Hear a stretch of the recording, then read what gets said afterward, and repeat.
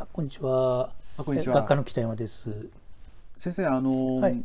私の一つのあのまあ提唱というかですね、はい。あの言葉の一つにですね、え男女交際から生まれるええ。ロマンスはいですね、男女交際から生まれる、まああまあまあ男女交際のロマンスですよね、はい。から生まれる幸せというものは、まあ、男の場合は90%以上の確率で、ええ。えー女の人の場合には99.9%才能を殺すというふうに私言ってるんですけれども、えー最近ちょっと面白い話がありまして、ええ。ーまああの教えてたこのお友達のえ子がですね非常に今このアートで活躍し始めていて、えーそしてなんか今度本を出すんだっていうぐらいの域まで行ってるらしいんですね。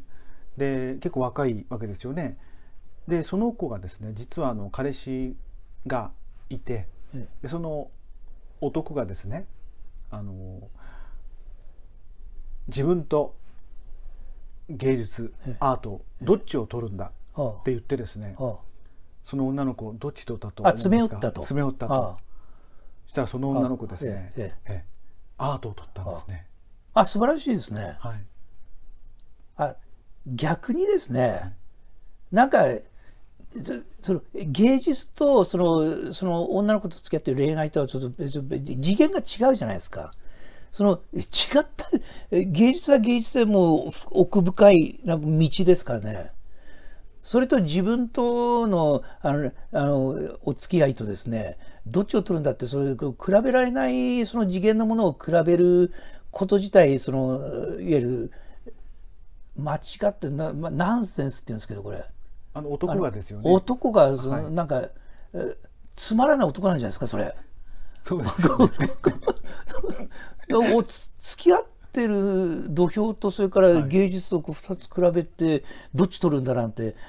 だもしその男とも結婚したとしたらあの芸術に対する理解ないと思いますよその男。だから早々にそれ芸術のを取るって言って別れて正解だったんじゃないですかそれ、そうですね。えつまんないですよそんな男、い。や本当ですよね、えやっぱり、そこを天秤にかけてしまう男はやっぱダメですよね、ええ。そこはあの、え逆に一歩引いて、ええ。そうそう見守るぐらいの器がないと、ええ。だからやっぱり。そそのその子才能があるわけだからその子の才能をもっと引き出すようなこう、えー、となんていうか環境づくりっていうかうするべきですよ。あのそのいわゆるか陰ながらこうバックアップするみたいな。それが愛情なんじゃないかなと思うんですけどね。そうですよね、ええ。だからその子のことをそんな本当の意味で好きじゃなかったのかもしれないしええ。あるいはその女の子のその才能にし嫉妬してたのかもしれない。ええ。まあいずれにせよつまんない男ですよ。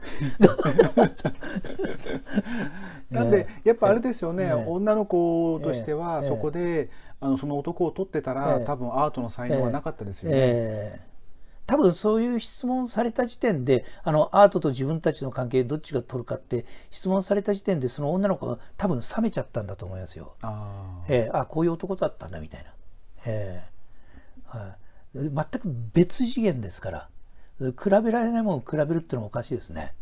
えでやっぱりその、男の方のその器の小ささっていうことに、ええ。やっぱりちょっと先生は言及ええ。そのそうそういうのを感じるのあの女性の方がピンとくるからあのその女の子その場ですぐピンときたんじゃないですかね。ああ、ええ。それで「ああ取ってすぐ答えたんじゃないですか。あすぐアートを取ると、ええ。はい。